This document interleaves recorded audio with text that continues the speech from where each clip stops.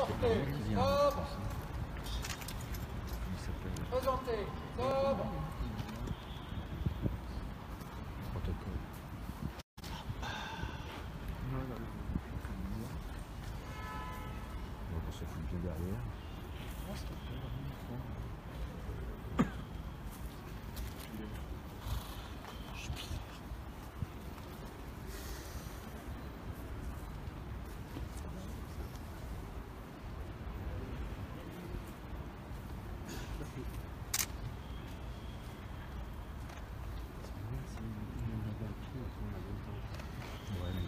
D'avoir jamais.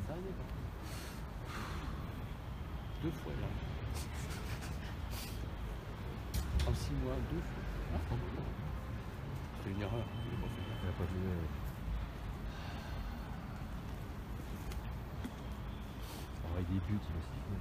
Oui, d'ici 4-5 ans. Je sais pas, il y a 5 minutes. il va faire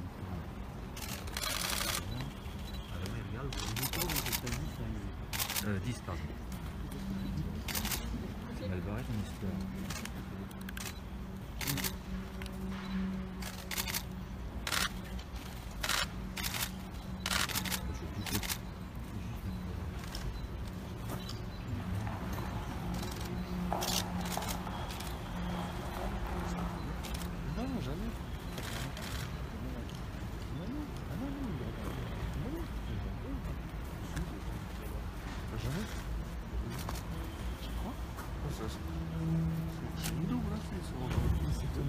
Seigneur.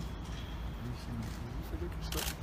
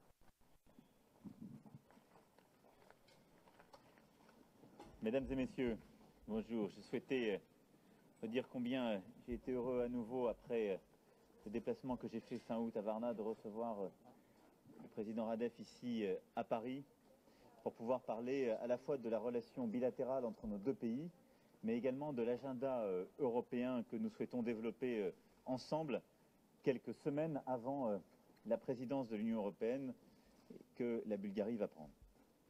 Je veux redire combien j'ai euh, apprécié le déplacement fait euh, en août dernier euh, à Varna et combien j'ai pu moi-même apprécier la forte coopération durant les dernières semaines et les derniers mois avec la Bulgarie. Ensemble, nous avons pu faire avancer un agenda d'une Europe qui progresse avec un soutien clair de la Bulgarie sur le vote pour changer la directive sur les travailleurs détachés. Je veux remercier à nouveau euh, la Bulgarie pour son soutien euh, en la matière et avec un fort soutien à l'égard de plusieurs des propositions que la France a pu faire et que j'ai pu faire lors du discours de la Sorbonne. Sur le plan de la relation bilatérale, nous souhaitons l'un et l'autre pouvoir sur trois points développer davantage notre relation. En matière de défense, nous avons euh, en effet des perspectives de coopération renforcées sur lesquelles nous allons continuer le travail en commun pour avoir des résultats concrets. En matière de coopération économique, nous souhaitons l'un et l'autre que les investissements croisés puissent s'accroître dans les prochains mois. Et en matière euh, d'éducation et d'enseignement supérieur, nous souhaitons également avoir des résultats concrets avant mi-2018, en particulier pour euh, la formation des hauts fonctionnaires, non seulement bulgares, mais de toute la région.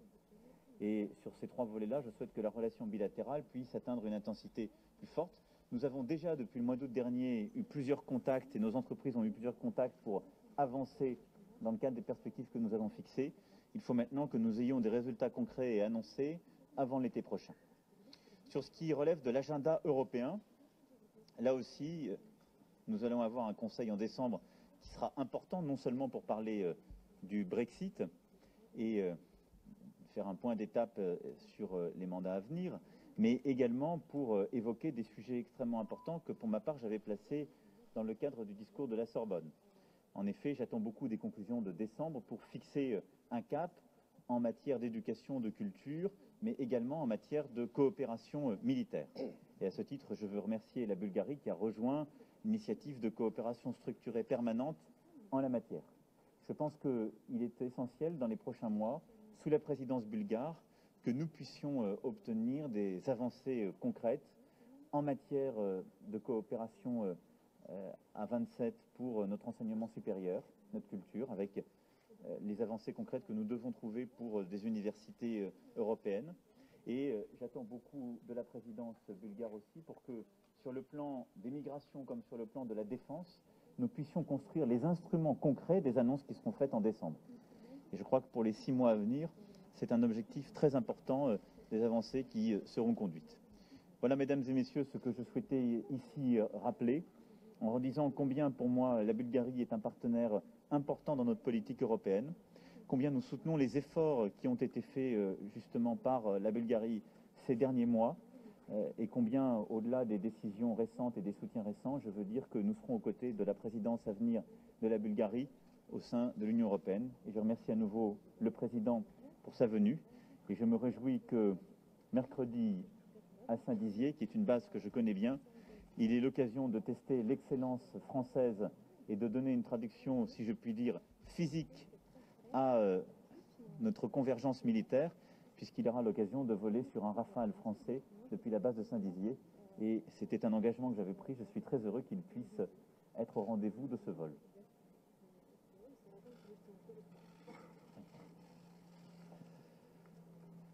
Уважаеми господин президент, първо благодаря ви за поканата и възможността да посетя вашата страна и да проведем тези изключително съдържателни разговори днес между двама стратегически партньори, които споделят общи виждания и имат обща представа за бъдещето на Европа.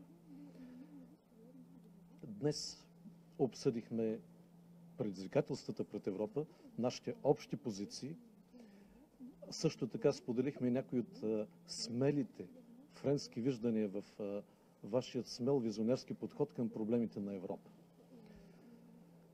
Мисля, че българското председателство на съвета на Европейския съюз е една добра предпоставка за нашето още по-тясно сътрудничество.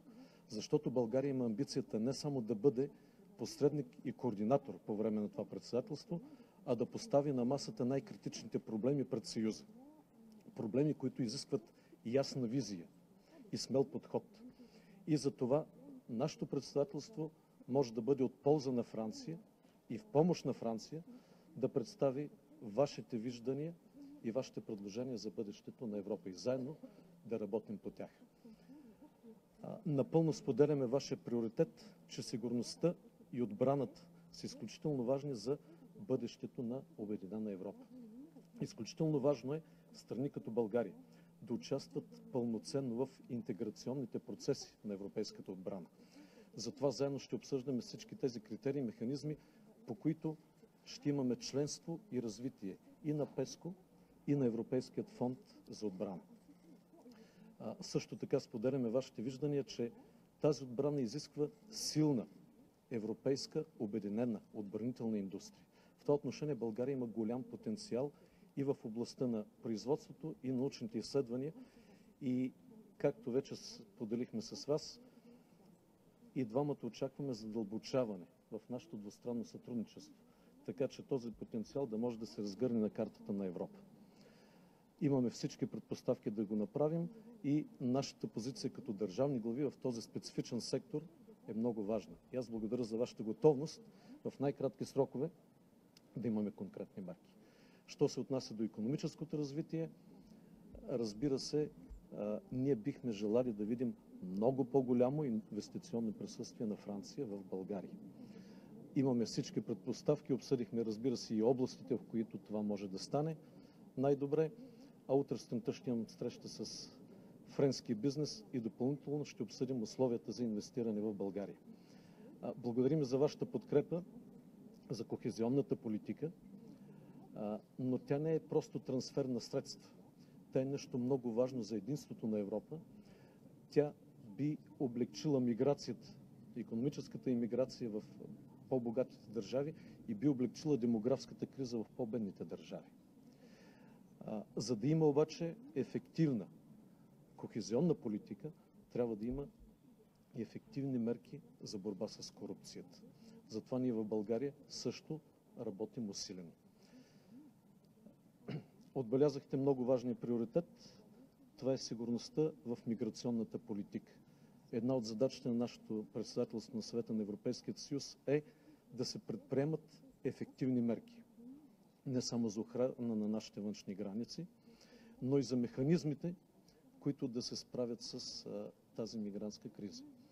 А, в това отношение, нашето приемане в Шенген, мисля, че няма какво повече да го обсъждаме. Той е важен фактор за допринасяне за повишаване на сигурността в Европа, защото сигурността на всеки европейски граждан започва от сигурността на външните граници, а България е такава граница.